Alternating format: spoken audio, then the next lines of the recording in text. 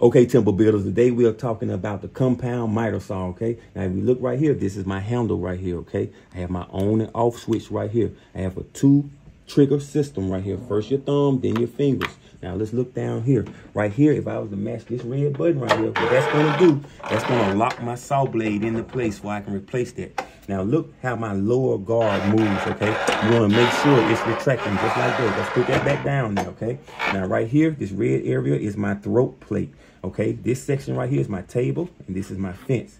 Look down here at these numbers in degrees, all right? This is my miter gauge, okay? It goes all the way to 48 degrees on either, either side, okay? And I can rotate that just like this, all right? With my lever and tightening knob.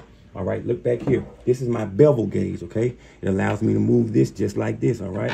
And I got my tightening knob right here, release pin for my head and dust port. Temple build.